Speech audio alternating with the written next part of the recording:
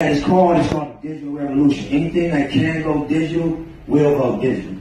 The digital revolution, from my understanding, is basically when you go to the grocery store and you got to check out, and there used to be a lady checking you out, it's a machine.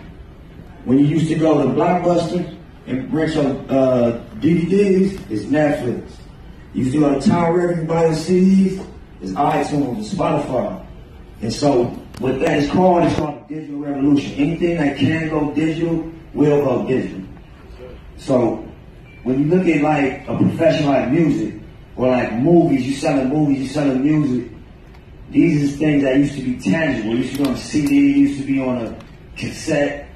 Now it became digital. She said it exists in the cloud. So when you think about business, you think about selling something that has no tangible form. You can't hold it. You can't put it in a plastic case.